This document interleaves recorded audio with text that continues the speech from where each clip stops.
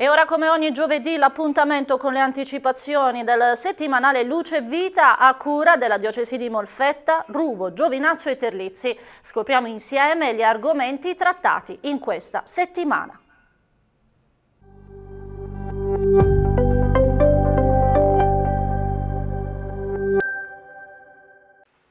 Ben ritrovati a Diocesi Informa, appuntamento di informazione a cura della Diocesi di Molfetta, Ruvo, Giovinazzo e Terlizzi. Siamo all'inizio del trido pasquale e tutte le parrocchie sono coinvolte nei riti liturgici nonché nelle processioni.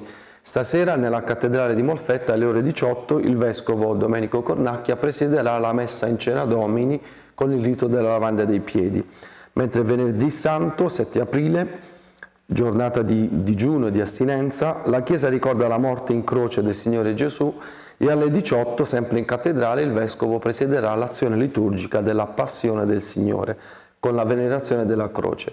Ricordiamo che nel Venerdì Santo in tutte le parrocchie del mondo si raccolgono offerte pro Terra Santa. In serata alle 21.30 il Vescovo concluderà la Via Crucis a Molfetta con la croce di Cutro.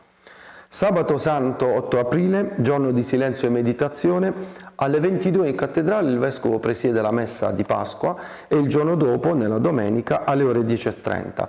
Alle 12 poi presiederà a Ruvo, presso la parrocchia San Domenico, la messa all'aperto. Mercoledì 12 aprile alle ore 19, presso la concattedrale di Terlizzi, l'accolito Francesco De Leo, originario della parrocchia dei Santissimi Medici in Terlizzi, sarà ordinato diacono per la preghiera consacratoria e l'imposizione delle mani di Monsignor Domenico Cornacchia. Diamo adesso uno sguardo al numero di Luce e Vita del 9 aprile, giorno di Pasqua. L'editoriale è scritto dal Vescovo Monsignor Cornacchia col titolo Pasqua e schiodare Cristo dalla croce. Dobbiamo prodicarci a schiodare Gesù presente e nascosto, come direbbe Madre Teresa di Calcutta, nei panni dei nostri fratelli, ancora inchiodati sulla croce della solitudine, della guerra, dell'isolamento, della povertà e dell'indifferenza.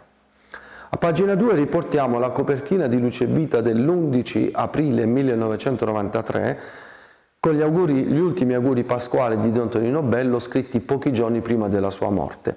E nella pagina successiva riportiamo anche l'ultimo saluto che aveva dato a conclusione della messa crismale giù in cattedrale dalla sua sedia del dolore come ultimo incontro con la comunità, il titolo Non contristatevi. Abbiamo scelto in questo periodo di Quaresima e Pasqua di riproporre gli scritti di Don Tonino Bello facendo parlare lui con la sua carica profetica di grande attualità.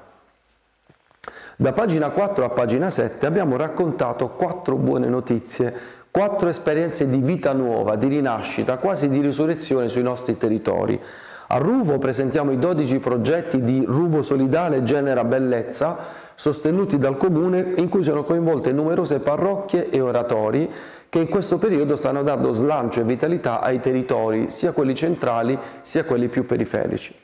A Molfetta invece si è concluso il progetto Up to You che da maggio 2022 a marzo 2023 ha coinvolto i giovani molfettesi tra 16 e 35 anni in un processo di partecipazione e coprogettazione dal basso. Mentre a Giovinazzo raccontiamo dell'orto solidale presso la parrocchia Sant'Agostino che recupera un terreno incolto e abbandonato facendolo, facendolo luogo di connessioni dell'intera comunità parrocchiale e opera vis, visibile, viva di speranza e di solidarietà. Infine a Terlizzi parliamo dell'impegno dell'Associazione La Garra coinvolta in azioni di recupero di cibo eccedente per metterlo a disposizione delle realtà che lavorano nel contrasto alla povertà, Caritas, Casa Betania e altre realtà. Dunque quattro belle esperienze che ci piaceva raccontare come buone notizie di questa Pasqua.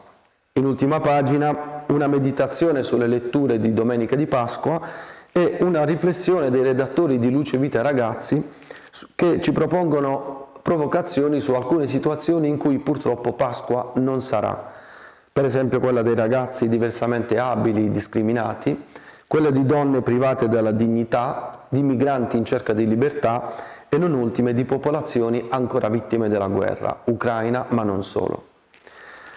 In questo numero ci sono poi due poesie nell'ambito della rubrica Riflessi dedicate alla Pasqua. Anche a Pasqua quindi Luce Vita offre tanti motivi per riflettere su se stessi, ma non solo su se stessi. Ed è proprio con, questo, con, queste parole che vogliamo esprimere i nostri auguri a tutti quanti voi, ascoltatori, ma anche a tutto lo staff di Teledeon e a Padre Francesco, direttore, formulando a tutti voi gli auguri di buona Pasqua.